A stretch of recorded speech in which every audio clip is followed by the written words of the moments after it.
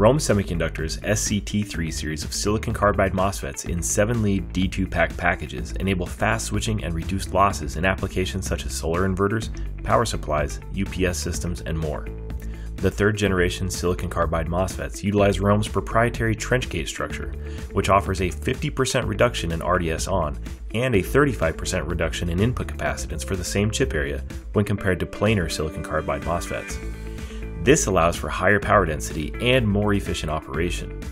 The 7 lead D2PAK package includes a separate driver source pin that further improves switching speed and reduces losses. SCT3 MOSFETs are available in 650 volt and 1200 volt versions, with continuous current ratings up to 70 amps and pulse current ratings up to 175 amps.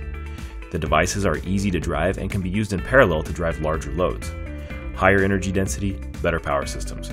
Think Rohm silicon carbide devices for your next design.